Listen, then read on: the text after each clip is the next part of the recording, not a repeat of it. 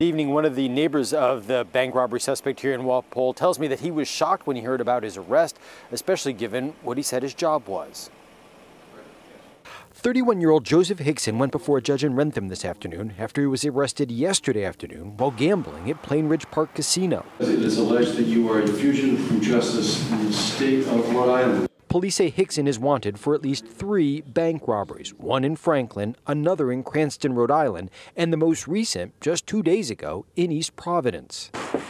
No one answered the door at Hickson's townhouse in Walpole. A neighbor says investigators were here yesterday executing a search warrant. A bunch of them started putting on gloves and went inside. Then they came out with a bunch of bags. And the neighbor says Hickson has lived here for about a year or two with his girlfriend and seemed to be an average person with an honorable job. He told me he worked for a church. Um, he told me uh, he was doing different upgrades on his place.